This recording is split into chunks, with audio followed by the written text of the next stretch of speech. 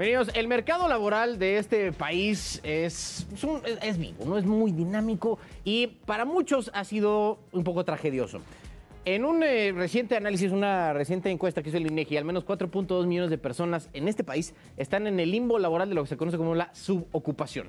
Entre esas y muchas otras cosas, vamos a tratar de darle hoy un poco de eh, entendimiento a lo que pasa en el mercado laboral mexicano con Aranza Sánchez. Ella es economista, está aquí con nosotros. Además de Axel González, investigador en México, ¿cómo vamos? Y terminando la terna, ah, no, no siempre tenemos tres, el, el sillón hoy eh, lleno. Alejandro García Villarreal, profesor de la Facultad de Economía de la UNAM. Los tres, muchas gracias, qué bueno que se dieron su, su vuelta por acá. Oigan, este, es que empezamos por contigo, mi estimada Aranza. Em, explicando que primero es subocupación, o qué se considera alguien subocupado, y luego por qué se llega a dar este fenómeno en, un- en una, una, digamos, una economía, un mercado laboral como, como el mexicano.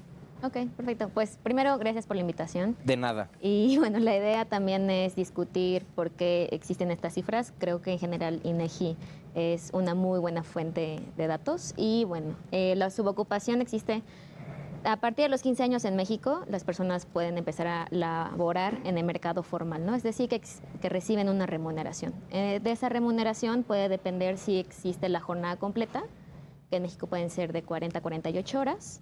Eso también puede estar a discusión versus a otros países. Y la idea es que cuando existe una subocupación es que son menores a jornada laboral completa. Es decir, que hay una persona que puede trabajar a tiempo parcial.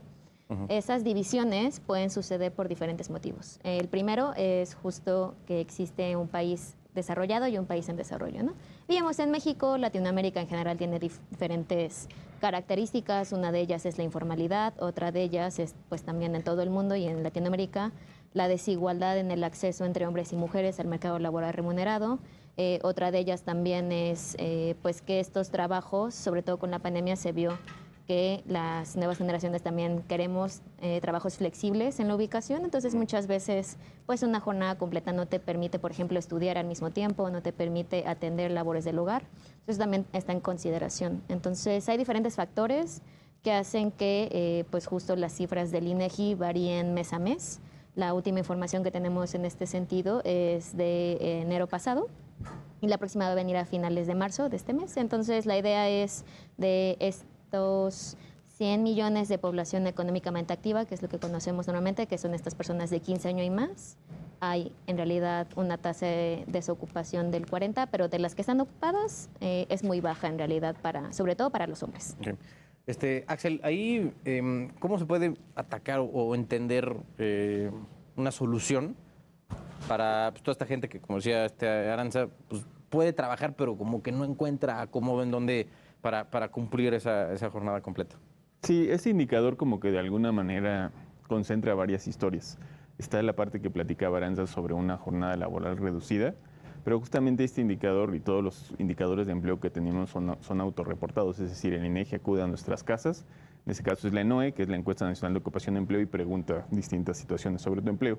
Aquí la pregunta es, eh, para las personas es si están trabajando o les gustaría estar trabajando más que lo están haciendo actualmente. Si la, si la persona pregunta que sí, entonces se les clasifica en, en este, en este grupo de subocupados. Entonces está la situación de las personas que tienen una jornada laboral reducida, pero también las personas que tienen una percepción, por ejemplo, que a pesar de que están trabajando lo que consideraríamos una jornada laboral completa, sus ingresos no les son suficientes para cubrir necesidades de, de su día a día, personales, del hogar, de la familia. Entonces, digamos, conceptualmente, pues las personas piensan, ah, me gustaría trabajar más para tener una mayor eh, percepción de ingresos y consecuentemente tener acceso a mejores, este, a mejor calidad de vida, servicios, etcétera. Entonces también está esa, digamos, esa parte de la historia de las personas que, digamos, con, con los ingresos que tienen dado lo que están trabajando, consideran que no es suficiente. Y digamos, otro de los problemas estructurales del mercado laboral mexicano, pues es precisamente informalidad laboral. La informalidad laboral, pues, pues, no, está, eh, no está atada a una jornada laboral. Las personas en informalidad, pues trabajan lo que les es posible o, o lo que les exigen. como puedan, ¿no? Así. Entonces, eh, esa es la otra situación. Las personas que se encuentran en, en- en su vocación probablemente estén muy, digamos, relacionado a que su condición de laboral es de, de- de informalidad. Y en ese sentido, pues precisamente pues, son distintas las, las situaciones. Por, una, por un lado está la calidad de los empleos en términos de los ingresos, de remuneraciones. Por otra cosa, por otro lado está, digamos, este problema histórico estructural de que la informalidad mm, a pesar de que se ha reducido eh, en el tiempo, lo hace de forma muy gradual, o sea, todavía tenemos a la mayoría de la población ocupada en informalidad y, digamos, eh, todavía, digamos, de, en, mayor, en mayor sentido para el caso de las mujeres. Entonces, esto está relacionado también con un balance entre, por ejemplo, las labores de cuidado eh, y del hogar no remuneradas, que muchas veces, precisamente como se, busca esta flexibilidad para, hacer este otro tipo de labores, pues lo que tenemos que consecuencia es que a lo mejor las personas están trabajando menos de lo que les gustaría precisamente por este balanceo entre los trabajos remunerados y los no remunerados. Alejandro, ahorita Axel estaba mencionando el tema de la, informalidad y eh, tengo entendido que al menos en estos últimos meses o años incluso ha repuntado, porque me acuerdo que en algún momento veníamos con los 40 y altos 47, 48% de los ocupados que estaban en la informalidad y hoy estamos en 53, 54%. Eh, ¿Por qué? Porque si ya veníamos para abajo, estaba medio llevando bien, encauzando al mercado laboral a, que la gente tuviera prestaciones, seguridad social y demás cosas, ya todo se fue al traste. Aquí es un tema interesante que creo que lo podemos unir con esta parte de desocupación y que quería tocar antes. Es, como bien lo menciona Axel, los, subocupados son personas que quisieran trabajar más horas, pero que el mercado no se los da.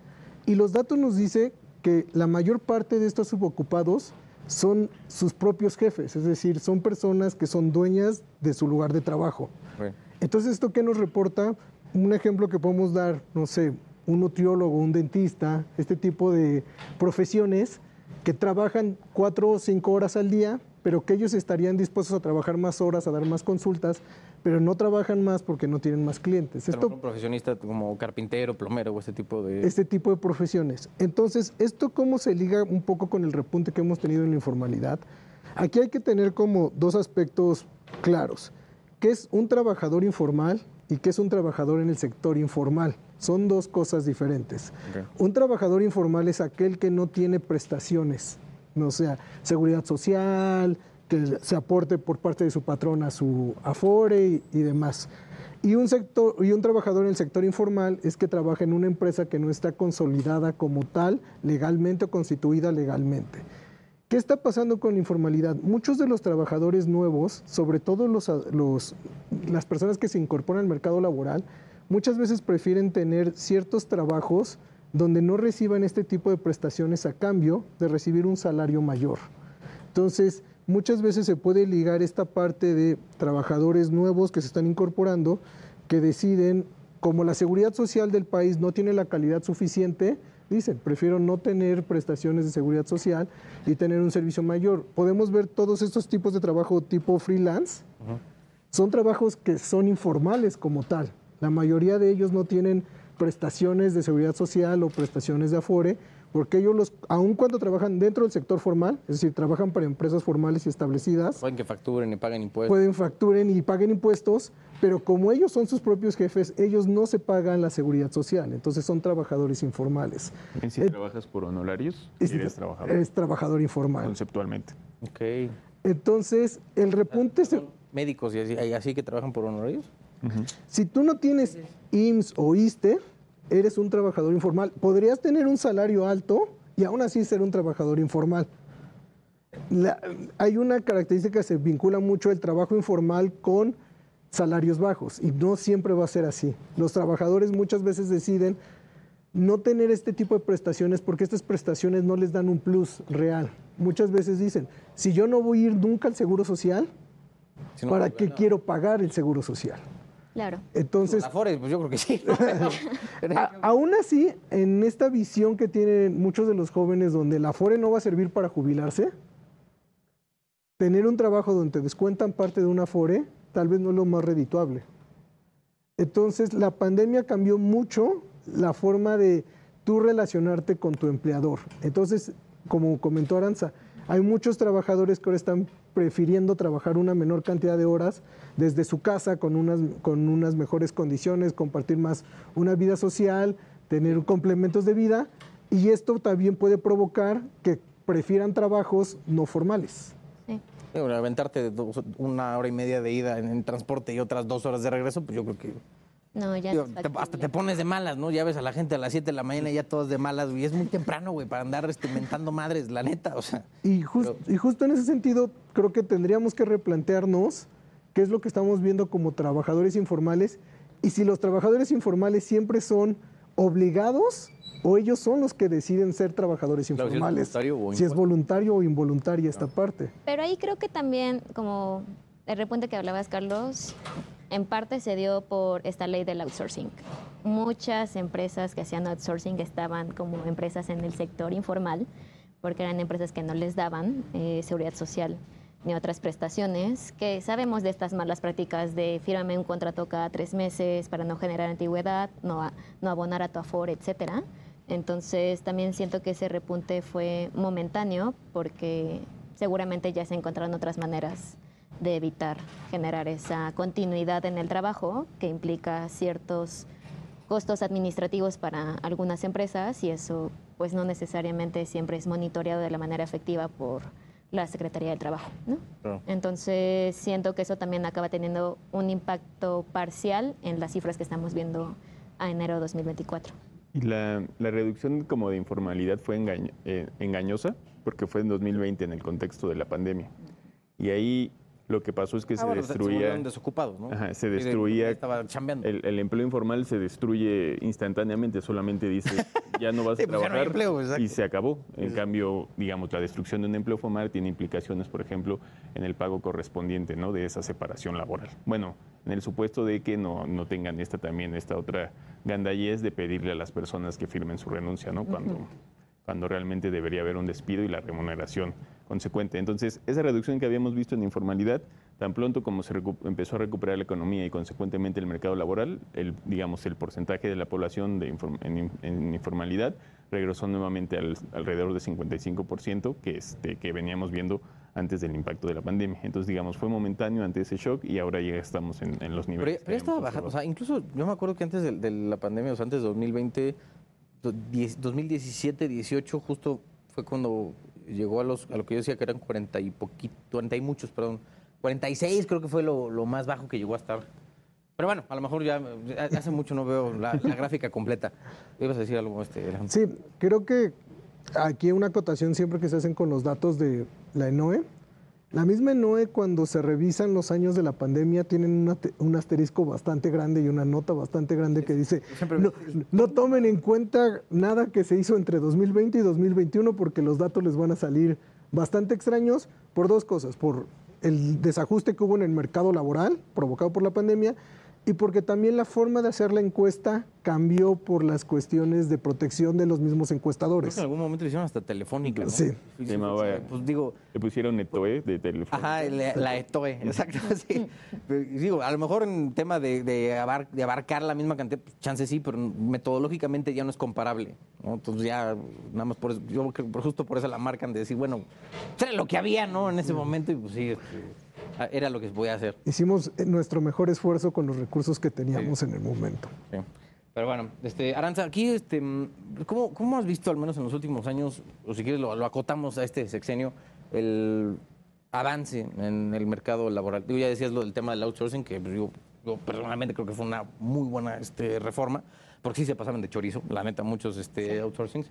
Pero en general, más allá de- del tema del outsourcing, ¿has visto avance, no, el tema de- del mercado laboral en este sexenio? Pues yo creo que una de las discusiones dentro de la economía con visión feminista es esta participación del mercado diferenciada entre hombres y mujeres. ¿no? Entonces, en general, sabemos que la población económicamente activa hoy son alrededor de 100 millones y de esos 100 millones el 55% está ocupado, el 45% no.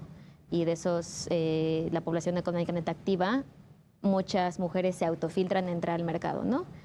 Todo esto normalmente por una relación con el trabajo en el hogar. Eh, y eso muchos programas sociales, sobre todo, eh, pues han tratado de generar este ingreso básico universal y esta discusión que hay alrededor de si debería de existir una remuneración para el trabajo del hogar y eso qué relación tiene con la ocupación de las niñas, adolescentes, mujeres. Es un poco lo que dijeron del salario rosa en el Estado de México, ¿no? O más o menos tiene que ver. Pues más o menos. Digo, me imagino Pues que ahí- por- por ahí iba, ¿no? O sea, más o menos era la, la intención. hay muchas buenas intenciones, pero... el camino al infierno que- está empedrado con buenas intenciones. Depende del tipo de política que hagas, porque lo que no quieres realizar es justo que sustituyan ingresar al mercado laboral remunerado por, Ah, por una eso. transferencia básica. que era lo ¿no? que hacía el salario rosa. El salario rosa, de hecho, castigaba la participación laboral de las mujeres, Ujú. porque uno de los, digamos, de los requisitos para tú poder recibir la transferencia era que no estuvieras eh, ocupada. Entonces, la, digamos, las mujeres que estaban ya dentro del padrón, pues decían, es que no me quiero integrar al mercado laboral porque pierdo. perdería este ingreso seguro, por así decirlo. Y no tendría por qué ser así, porque en realidad justo hay una cuenta satélite del INEGI que habla sobre todo el trabajo del hogar eh, y incluso pues justo las mujeres que están laborando de manera remunerada también tienen más horas que sus pares masculinos, ¿no? Entonces ese trabajo no desaparece, solo es una doble jornada laboral. No tendría que existir, digamos, esa disyuntiva entre si tomar esa transferencia o ingresar al mercado laboral. Pero eh, creo que una manera que se ha solucionado, por ahí hay un estudio, eh, me parece que es del Colmex o del CIDE, que habla de cómo las transferencias de jóvenes construyendo el futuro, muchas veces las han tomado jóvenes eh, del sexo femenino para eh, pues justo verlo como una parte del ingreso por este trabajo no remunerado del hogar. ¿no?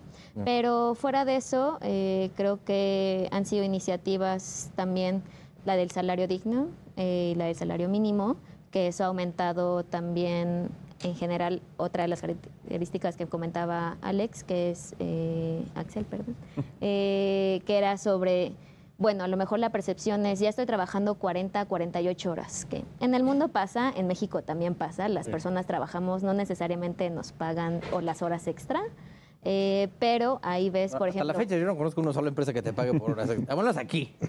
O sea, la neta, las cosas como son. Sí, pues en general es algo normalizado, no tendría que Sí. ser, pero es normalizado. ¿no? Hasta, hasta los dueños de, "Ah, hombre, qué detalle. ¿Qué pasó? que ¿Qué queda". Y la idea es justo, vemos estos trabajos como eh, conducir en Uber, en Didi, tener la tiendita, salir a, a vender ciertas cosas de manera informal para eh, saciar esa necesidad. rollo, ¿no? Sí, los catálogos de Labón, por no decir otras cosas. Pero, bueno, hombre, Eh, de, sí. lo, de lo que se pueda. de lo que vale, sea, pero la idea es también de las políticas laborales que han existido durante este sexenio, creo que de las que hay que rescatar es esa ley del outsourcing y el aumento a los salarios mínimos, porque eso hace que la percepción de querer trabajar más horas también pueda tener efectos en el mediano plazo. Axel, ¿algún avance que quieras resaltar? No sé, este sexenio, ya que andamos en Pues, la recta eh, final. eh, o sea, complementando salario mínimo y la reforma de subcontratación, pues también eh, la reforma para eh, vacaciones. La verdad es que teníamos un periodo va- eh, vacacional muy reducido, Ah, sí. solo eran seis días por año laboral Puta, trabajado. tienen un mes completo, güey. Así vacaciones, los hijos de la... Y, o sea, estábamos muy atrás, o sea, te comparabas con economías similares, con economías regionales, y la verdad es que México estaba muy atrás ¿no? en, en ese sentido. Y lo mismo, o sea, es lo mismo, digamos, que se observa para el caso de salario mínimo. El salario mínimo ha, ha habido tanta oportunidad de ajustarlo porque había quedado rezagado eh, por muchos años. O sea, hablándolo en términos de sexenio, por ejemplo, entre 1994 y 2018, el poder adquisitivo del salario mínimo en términos reales se había reducido. O sea, no solo no había incrementado, sino que más bien eh, eh, era menor eh, que lo que se observaba en la, de- en la década de los 90. Por eso es que, digamos, ha habido tanto margen para los, para los incrementos.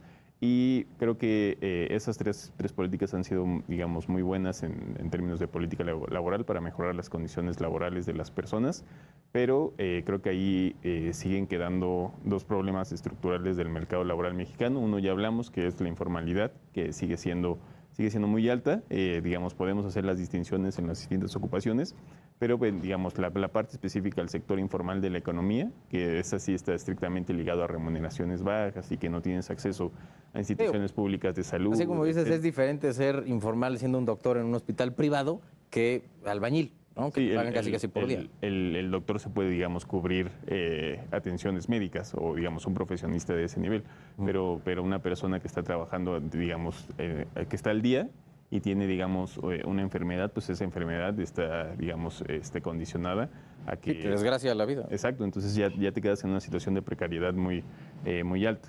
Y la otra parte es lo que platicaba Aranza de la participación laboral de las mujeres. En, México tenemos una brecha de 30 puntos.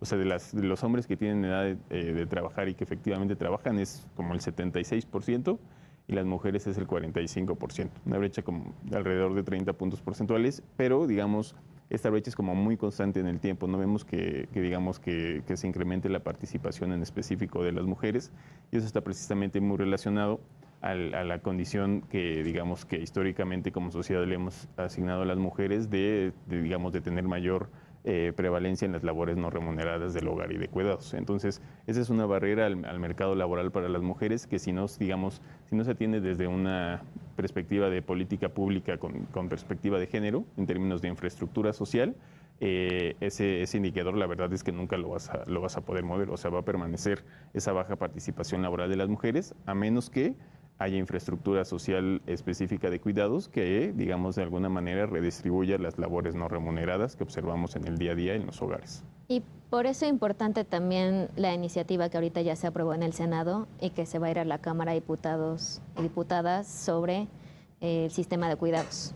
Porque esa iniciativa seguramente por los tiempos electorales pasará la congeladora, pero es justo el momento en el que podríamos empezar a discutir el presupuesto y cómo repartirlo de manera tripartita.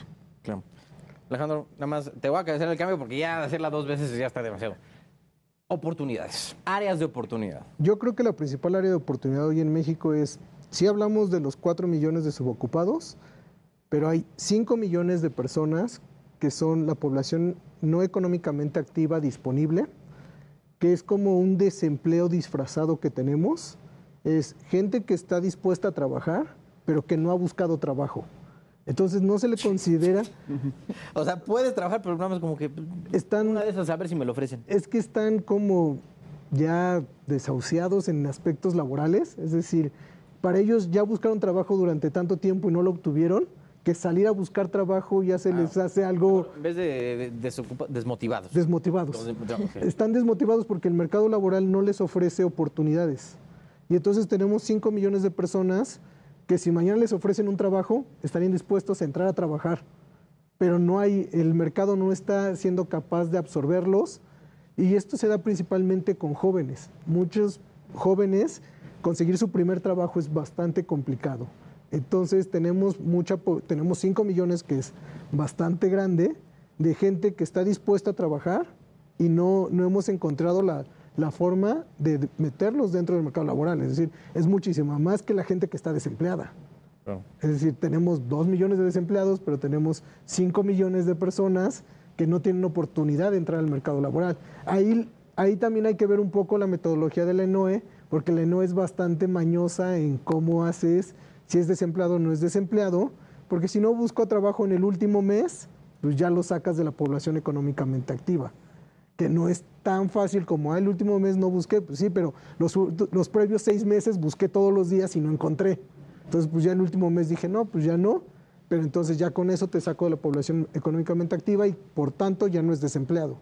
Entonces creo que el gran reto que tenemos actualmente es como países, ¿cómo le vamos a hacer para empezar a darle oportunidades a los jóvenes de que entren al mercado laboral, que es donde tenemos como el gran reto? Nos están abriendo oportunidades y cada vez las personas están más ligadas a, buscar trabajos subocupados, trabajos muy flexibles, donde... Es pepenar lo que haya, ¿no? Es lo que, lo que encuentres. Entonces, creo que el gran reto es, la economía va a tener que aumentar su tasa de crecimiento, tenemos que crecer mucho más, de lo que crecemos actualmente, para que esta expansión genere los empleos suficientes para absorber toda la nueva entrada de jóvenes que, ya están en edad de trabajar. Aranza Sánchez, un absoluto placer tenerte por acá. Axel, Alejandro, un placerazo. Qué bueno que se dieron esta vueltilla menos para pues, discutir algo que no suele ser como tan público, tan, tan sexy, ¿no? Hablar del mercado laboral, de subocupados y todas estas cosas. Pero les agradezco a los tres que hayan venido.